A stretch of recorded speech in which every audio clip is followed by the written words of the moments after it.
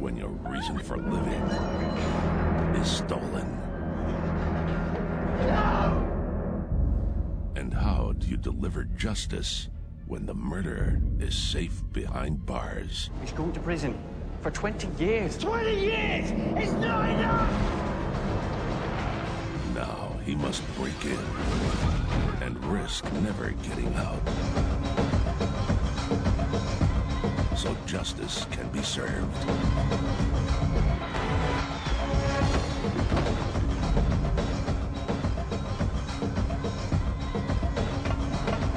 I want your